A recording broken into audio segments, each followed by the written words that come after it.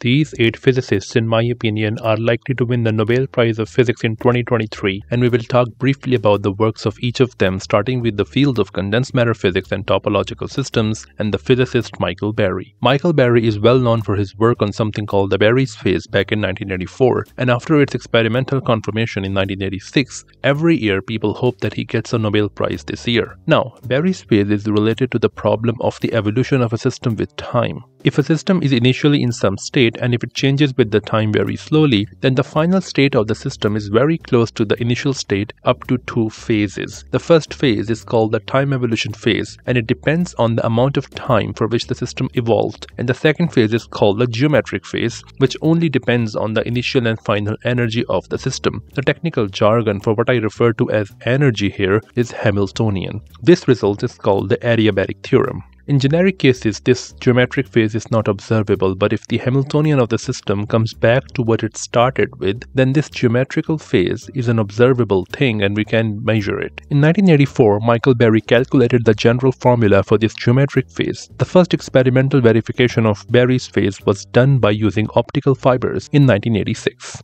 We now come to the work of Alexei Kitaev, who is well known for introducing the concept of topological quantum computers. These computers employ quasi-particles particles. Quasi-particles are objects in condensed matter physics that behave like particles, and the quasi-particles that these topological quantum computers use are called anyons. Anyons can be thought of as particles that have characteristics in between fermions and bosons. These anyons live in two dimensions, which means that they evolve in a three-dimensional space-time. Their world lines can get tangled into one another to make a mathematical object called a braid. A braid is stable against small disturbances of the system due to its topological properties, and that's why these computers are called topological quantum computers. Experiments do suggest that these quantum computers may be created in the real world. The work on anyons also brings in Frank Wilczek, who has done a lot of work on anyons. In fact, Wilczek was the one who proposed the name anyons. Wilczek is already a Nobel laureate as he won the Nobel Prize in Physics in 2004 with David Gross and Hugh Politzer for their work on asymptotic freedom. In 1984, Wilczek with Dan Arovas and Robert Schrieffer predicted that in order to describe an effect called the fractional quantum Hall effect, you will need anyons. In 2020,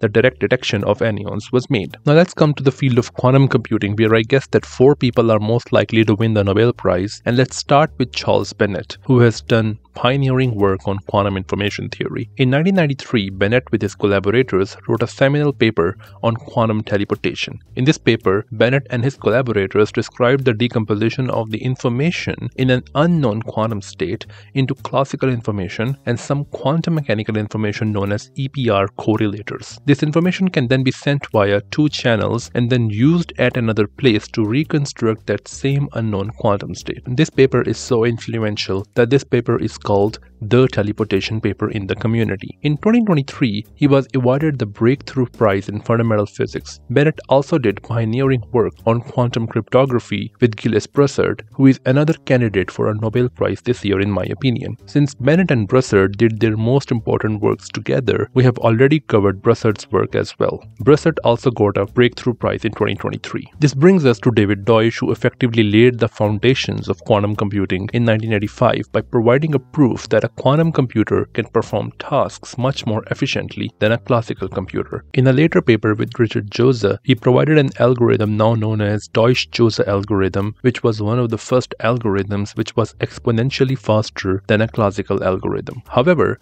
a quantum algorithm that gained much more popularity was devised by Peter Shor, who came up with Shor's algorithm, and he is also among the candidates for a Nobel Prize. In 1994, Shor came up with an algorithm that could factor large numbers into their prime factors at a rapid speed. This might not seem a big deal, but it is because the cryptographic systems that many banks and other institutions use for their security are based on the difficulty of factoring large numbers and thus Shor's algorithm has a lot of practical consequences as well. David Deutsch and Peter Shor were also awarded the 2023 Breakthrough Prize in Fundamental Physics. The last person that I want to mention in the list is Francis Halzen, who is most well known for his work on detecting neutrinos in Antarctica. In 1987, he started on a project that detected neutrinos coming from the cosmic rays by detecting the electrical sparks that happen when these neutrinos collide with ice occasionally. This project was called Antarctic Muon and Neutrino Detector Array or Amanda. The idea of this project was to bury an array of light sensors deep in the ice of Antarctica to remove the effects of background light and other particles in the cosmic rays. This experiment was partially successful because the interference from cosmic rays was not totally eliminated. On top of that, there were air bubbles in ice that also contaminate the results. Halzen made this project bigger and in 2005 his team started to work on IceCube Neutrino Observatory which was almost a